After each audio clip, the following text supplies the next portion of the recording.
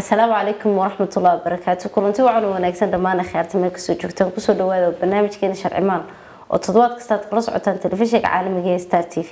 Barnaamijka waxaad intaa diini doontaa anigoo hanada awd ujeedkan barnaamijkan ka lahay waxaa in lagu baldaamaya arrimaha khuseeya sharciga cadaalada sugan iyo habowgeysa dacwadaha. Maanta waxaynu ka hadli doonaa arrimaha khuseeya loo shaqeeyaha iyo shaqaalaha. Saad ogsoontihiinba qodobka labaatanaad ee dastuurka jamhuuriyadda somalilan wuxuu ku siiyey xaqa inaad shaqeyn karto. Wuxuu siiyey dowladda uuna farayaa inay sameeyaan fursado shaqo oo muwaadiniintu ka faa'iidaystaan. Isla qodobkaasi faqradiisa afraad wuxuu sheegaya inuu dowladda mas'uuliyaddeeda tahay inay abuuraan shuruucdii kala xadeyn lahayd loo shaqeeyaha iyo shaqaalaha. Kusii dheeraamaya maanta waxaa inoo marti sharaf ah xamse khayre yuusuf oo macalin jaamacadeed wuxuu muddooyinka ugu dambeeyay uu ka soo shaqeynaya hay'adaha dowliga ah iyo hay'adaha caalamiga ah wax arrimaha khuseeya shuruucda loo shaqeeyaha iyo shaqaalaha iyo dhammaan waxaasoo dhanna xeelad dad buu ku leeyahay. Kusoo xamse dhawahay hana aada baad mahadsan tahay waana ku mahadsantahay barnaamijkeega soo xasuunto si aan wax yar uga yaraahdo arrimaha shaqaalaha. Aad mahadsantahay. Gariiqan bal waxaad noo sheegtaa goorma ayaa qof la odhan karaa waa shaqaale. Sida caadiga marka xeerarka caalamiga ay qeexayaan qofka shaqaalaha ah waxay ku qeexaan qof kaste oo loo diro inuu shaqo qabto isla markaana shaqada lagu siiyo waxaa dhahda bunno. Haddaynu soo noqono xeerkan xeerarka somalilan xeerka shaqaalaha rayidka ah xeer number thirty one oo soo baxay sannadkii labadii kun iyo afartii isla markaa haddana dib u habeyn iyo dib u kaabis lagu sameeyey labadii kun iyo toddobadii qodobka koowaad oo sharaxaya erey bixinaha wuxuu sheegayaa shaqaalahu qofka shaqaalihii uu yahay qof loo diray hawl isla markaana hawsha loo diray muddo cayiman isla markaana la siinayo faa-iido ka dhalata ama ha noqoto gunno ama faa-iido kale oo u dhiganta gunnadii loogu talagalay.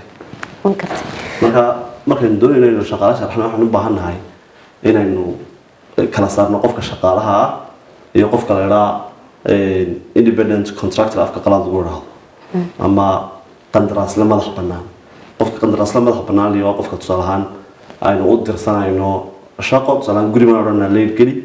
Marka qofkaa looma baahna inuu isagu laftirkiisu geliyo. Qof kaloo sii diri karaa shaqaale kaloo sii wakiilan karaa. Laakiin waxaan u baahnay inuu shaqada isagu qabto oo isagu fuliyo. Marka shaqadaas ay dhammaatana shaqadiisii way dhammaatay. Marka qofkaasi shaqaale maaha isagu uu ka duwan yahay laakiin qofka shaqaalihi waa qofka laga rabo inuu adeegiisa ku qabto. Waan gartay. Marka haddaba dhaadhacnaa dhinaca sharciga waa maxay farqiga u dhexeeya xeerka shaqaalaha iyo xeerka siyaasadda maareynta shaqaalaha ee urur gaaraa leeyahay bismillaah xeerka shaqaalaha iyo iyo siyaasadda maareynta shaqaaluhu aada bay kala duwan yihiin siyaasadda maareynta shaqaaluhu waxa weeyaan urur kasta ama hay'ad kasta gooni bay u leedahay waa waxa weeyaan waa guideline waxa luqadda qalaad lagu idhaahdo ama tilmaame u sheegaya qofka shaqaalaha ka caawinaya qaabku shaqada u qabanayo waxa laga filayo qaabka isaga shaqadii loogu tababarayo maxaa qabanaya goorma laga rabaa shaqadii inuu wado goorma laga rabaa shaqadii inuu ka baxo waxyaabahaasoo dhan. Marka guidelinekaas ama tilmaamahaas ama hr policygaasi waxaa loo baahanya mar walba inuu la jaan qaado xeerka shaqaalaha ay dowladdu lahay.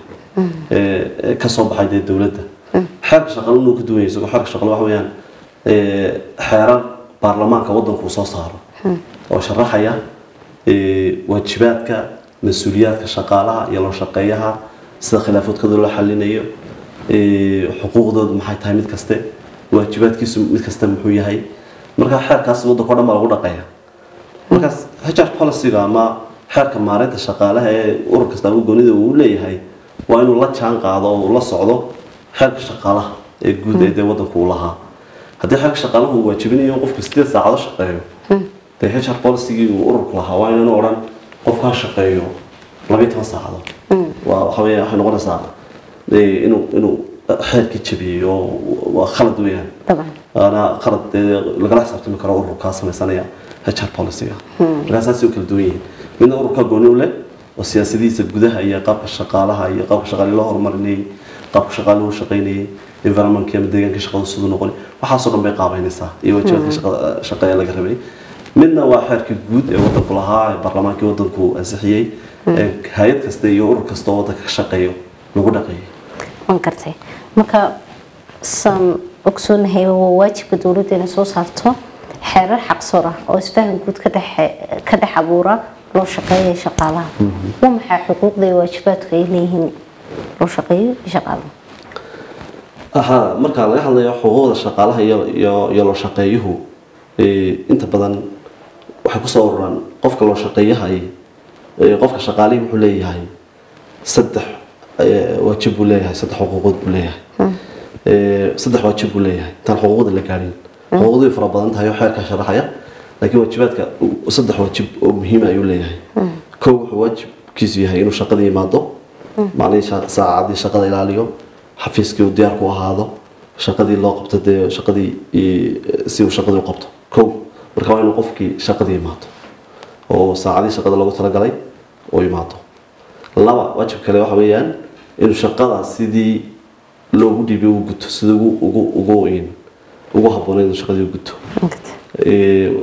Xuquuqda waajibka saddexaad kalena waxa weeyaan in agabkii iyo qalabkii lagu shaqaynayay iyo iyo hantidii uu dee laha- loo shaqeeyo lahaa inuu sida ugu macquulsan dhowro oo uu ilaaliyo. Saddexdaa waajib baa laga rabaa qofka loo shaqeeyaha ah qofka shaqaalaha ah ayaan u jeedaa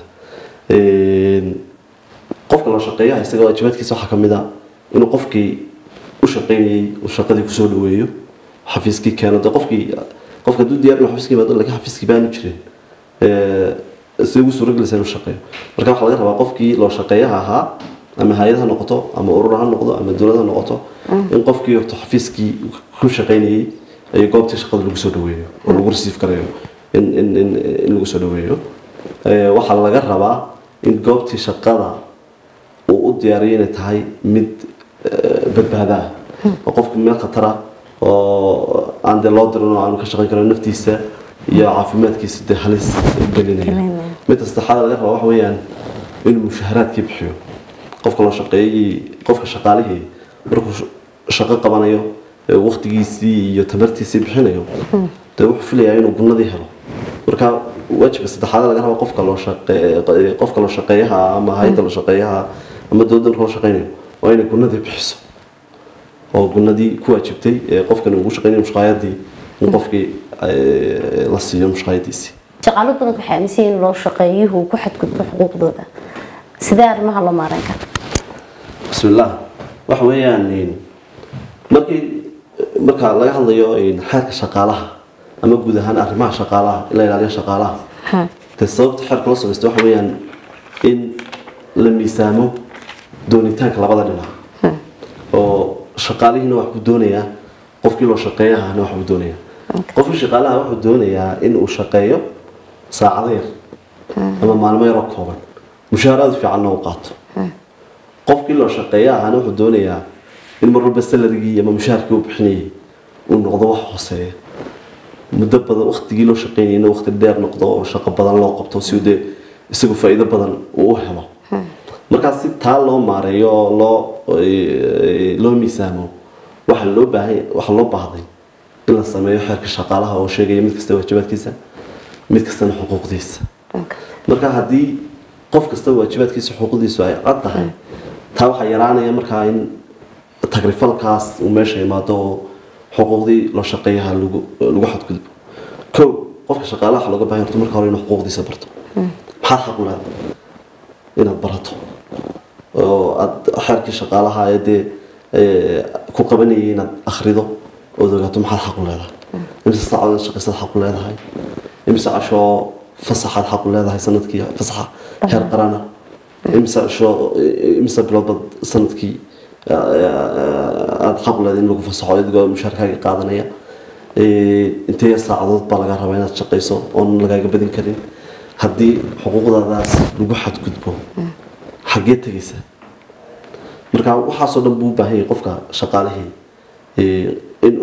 inuu ogaado si aanu u dareemin dee in lagu xadgudbayo. Kartay marka shaqaalaha loo shaqeeya haddii dacwo qabaan xaggee ama dariiqaday marayaan ah intaan dacwadda la gaadhin waxaa muhiim inaan yara iftiimino horta xog. Waajibaadkii baynu sheegnay shaqaalaha iyo loo shaqeeyaha iyagu maxay xuquuq leeyihiin waliba qofka loo shaqeeyaha iyo qofka shaqaalihii waayo qofka qofka nugul waa qofka shaq- shaqaalaha. Ah. Qofka shaqaalihii muxuu xuquuq leeyahay.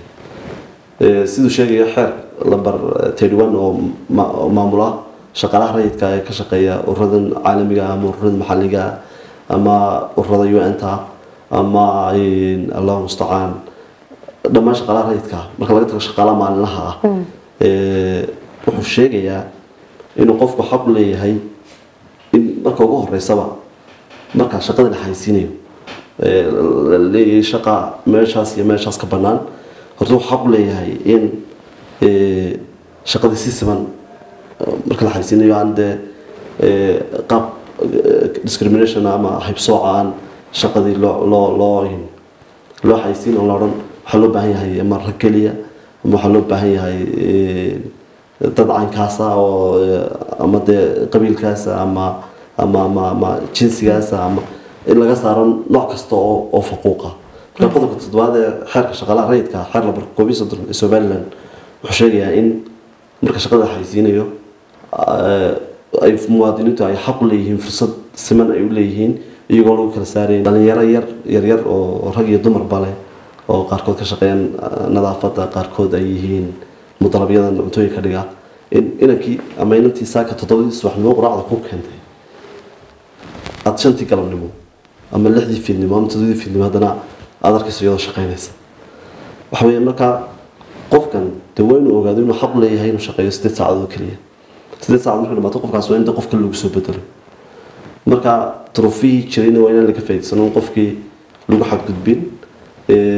Okay haddaba haddii lagu qismana shaqeyso sideed saacadood wax ka badan. Iminka haddii qofka loo sheego laga xaq leedahay inaad shaqeyso sideed saacadood.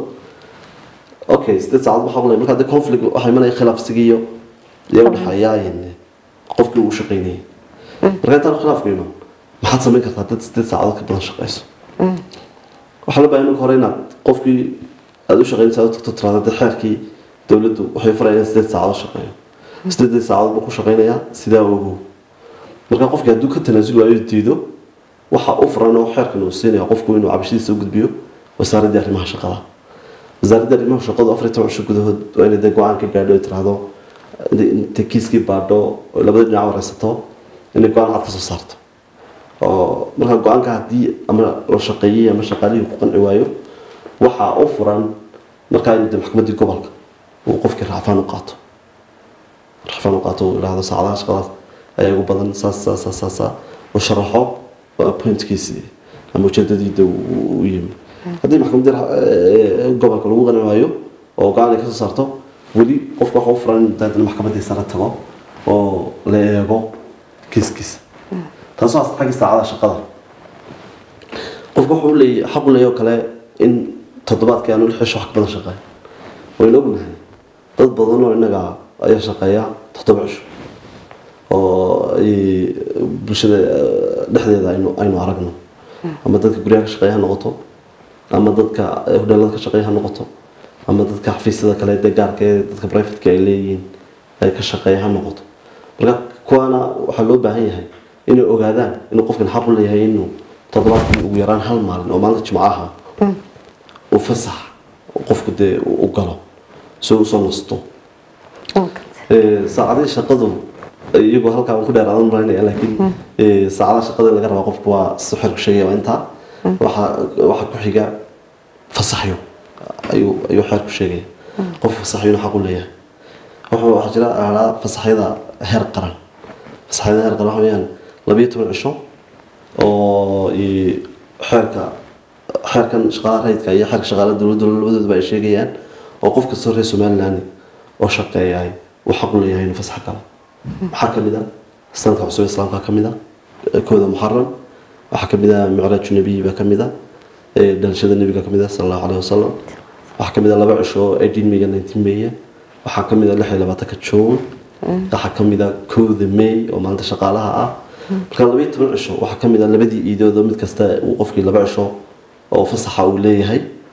Marka waxaa muhiima iyadana in qofka shaqaalaha ah labiyo tobankiisa cisho ee fasaxa qarana. Inaan shaki la gelin oo qofkii dalo shaqeeyaha hubiyo uu xitaa ogeysiiyo uu dhahdo berri waa waa multunebigii iyo markaa ee, xeerkaa ku siinaya fasax tahay. Ee, berri waa kooda oo maalinta shaqaalaha fasax tahay xeerkaa ku fasaxaya. Qofku markuu qofkii loo shaqeeyaha qofkii shaqaalaha markuu ogaado un anugu ka odhan maxaad ii fasaxi weyday dee waxaa ahayd maalin fasaxaya. Marka waajibkaasi wuxuu saaran yahay qofka loo shaqeeyaha inuu hubiyo labiyo tobanka casho qofku inuu inuu fasax helo. Waa fasaxi heer qaran ee dee uu xeerku sheegaya waxaa intaa dheer oo iyadana bulshadeena dhexdeeda aada ugu dayacan qofku markuu lix bilood oo xidhiidh shaqaynayo ugu yaraan lix bilood oo shaqaynayo wuxuu xaq u leeyahay ee, qofku markuu labiyo toban bilood shaqaynayo ujeeda sanad markuu shaqeeyo wuxuu xaq u leeyahay bil fasax oo mushaarkiisina qaadanayo. Waxaan u in shaqaalaha ah, shaqaale weynaha somaliland badankooda aanay ka warqabinta. Waxaad arkaysaa qof labiyo tobankii bilood shaqaynaya waxaad arkaysaa qof toddobada cishaba shaqaynaya. Marka iyadana waxaa muhiima qofka loo shaqeeyahay ama hay'ad ha ahaado ama qof ha ahaado marka qof leeyahay waxaan ka hadlaya dee labada shakhsiyadoodba qofkii caadiga ahaa ee businesska haystay ee shaqaynayay iyo qofkii shakhsiyadda qaanuuniga ah lahaa ama company ha noqoto ama n g o ha noqoto ama urur kale ha noqdo iyadana waxaa loo baahan yahay markaa in la hubiyo qofkii loo shaqeeyaha inuu hubiyo inuu qofkani bishiisi fasaxa u qaatay. Isagaa xasuusinaya isagaa hubinaya isagaa xasuuna laga rabaa. Laakiin waxaa loo baahan yahay inay isla fadhiistaan oo waqti ku habboon oo dee urur shaqadiina ka maarmi karayso shaqadii ay sii socon karayso qofka lagu wareejin karayo in la isla qaato oo fasaxa la galo. Dad badan maana fasaxin oo u shaqeeya urur iyo kambaniya iyo hay'ada iyo dad caadiyaba bisha fasaxa helin. Ee, taa waxaa ka sii daran dad fara badan baan anigu arkay oo marka kambaniyadii productga dhammaado lagu qasbo in fasaxi qaato. Toba- t- tusaale ahaan productga lagu shaqeynaya dhammaanaya ama qalabkii dee shaqada lagu qabanayay ama wax soo saarkii tusaale ahaan ee, haddii wax la soo sokoro kale la soo saarayo ama daqiiqo kale la soo saarayo daqiiqadii iyo balkii kale hadduu- imika tusaale ahaan qamadadii daqiiqada laga sameeyo kale qofkii halkan fadhiyo diyaaron dee u baahnayn toban cisho fasaxaad lahay. Ha tobankaaga cisho kale war tobanka cisho toban cisho kadib waan waa roog bursanaya ama waxaasaan qabanaya ama dalxiis baan ma jirto tobankaaga cisho kale marka taasna way dhacdaa oo in badan bay dhacdaa waxaana muhiima qofku ee, haddii taas kale ku dhacdo inuu wasaaradda la xidhiidho arrimaha shaqada oo iyadana door muhiima uu xeerku siiyey ee, si dee khilaafaadka ay meesha uga saarto ula xisaabtanto intaa waxaa dheer ee, ee, fasaxyo kala jira oo fasaxii ee, fasaxyo gaara haweenka oo kale tusaale ahaan hooyadoo kale marka qofku hooyo noqdo waxaa loo baahan yahay dee xeerku sheegaya inuu qofku leeyahay lix iyo toban wiig oo fasaxa ama afar bilood. Afartaa bilood iyadana waxaan arkay ururo badan iyo hay'ado badan oo marka ee, dee hooyadii umusho shaqada keenaya shaqada ka saaraya xeerkan wuxuu si cad u diidan yahay in qofka total shaqada laga saaro ilaa ilmaha ilmahaas uu gaaray hal sano. Qofka shaqada lagama saari karayo. Haddii aanu kontraagii heshiiskii lala galay aanu dhammaan.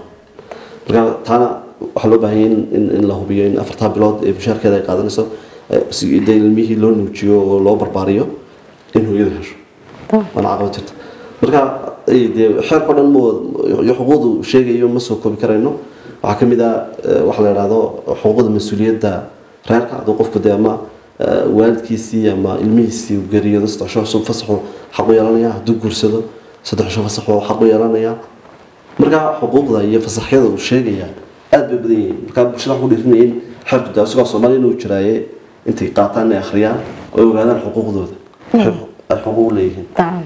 Marka inkasaad sheegtay dhammaan waxaad kaga soo dhawaajisay noo iftiimisa oo dhan? Marka shaqadiisa waxa weeyaan saddexaad. Inuu xaliyo khilaafaadka. Oo gacan ka geysto qaabkii uu isku fahansin lahaa loo shaqeeya iyo shaqaalaha. Sidoo kale xeerku wuxuu wasaaradda dhexdeeda ka asaasaya oo odhanaya waa in wasiirku uu aasaaso kormeere. ee, shaqaale ama labor inspection wax luqadda labor inspector wax lagu odhaa luqadda qalaad. Marka kormeeraha shaqaalaha shaqaaluhu waxa weeyaan waxaa la siinaya waajib ah inuu goob kastoo shaqo tegi karayo indhaindhayn karayo geli karayo hubin si uu hubiyo in xuquuqdii shaqaalaha la ilaaliyay. Marka anigu intan dee waddanka joogay iyo institution meelo hayado badan oo ka soo shaqeeyey weli maan arag eh, inayaasha kormeerayaasha arrimaha shaqaalaha. Waana waxyaabahan ugu muhiimsanay aan u baahannahay Ee, dadka ganacsiyada ugu waaweyn haysta somaliland marka xaqiiqada laga hadlo dadka ganacsiyada ugu waaweyn haysta ma noqoto hodheelada ha u bantaan waa dadka ugu daran ee aada u cadaadiya shaqaalaha. Oo weliba saacado shaqada oo dhan dheer siiya dadkii mudalabyadooda ha noqoto ama ha noqoto ee, de hablihii meel ama yanamadii ka- shaqaynayay na- nadaafadda. Waxaa laga yaabaa in qofkaasi afartii subaxnimo soo gala shaqada. Oo haddana joogo toddobadii habeenimo marka ee, waxa weeyaan wasaaradda waxaan soo jeedinayaa ee, shaqo badan oo haysa waan ogahay waxaan arkay laftirkeeda inay samaysay policy ama siyaasadii shaqa ta- tababarka shaqada dhalinyarada u saxdaysay inay volunteer ku shaqeeyaan shaqo baradka markaaqabaltaa laakiin shaqo badan oo kala taalo. Ooy u horeysa inay aasaasaan oo ay sameeyaan eh, guddidii kormeerka. Eh, inspection eh, labor inspectionki ama ciddii loogu talagalay inay kormeerto goobihii shaqada hubiso xuquuqdii shaqaalaha loo soo gudbiyey. Marka wasaaraddu xeer ku xusiinayaa awood fara badan inay cidda aragtada in xuquuqdii shaqaalaha ku xadgudbaysay inay u yeedho inay digniin siiso inay ganaaxsi inay ganaaxdo. Yes. marka albaabada buu furaya marka ha ha tijaabiyaan awoodahaasoo bulshada dee ha u adeegaan oo weliba taa saacadaha shaqada faraha badan iyo dadkan faraha badan ee dee eh, majority bulshada shaqooyinka hoose aan dee labiyi tobanka bilood marna aan fasax helin toddoba cisho aan fasax helin eh, dadka ha u shaqeeyaan oo ha hubiyaan in loo shaqeeyuhu uu raacayo dee xeerkii aynu samaysanay طبعا طبعا aad u mahadsantahay xamse khayrigiisu adigaa mudan xalqadaasi waxay ahayd xalqadii shanaad intan kulankan isku arkan waxaad ogsoonataan xaqaa weynu ku dhamaada xaqa qof kale meeshu ka bilaabmo intan kulankan isku arkana sidaa iyo nabadgelyo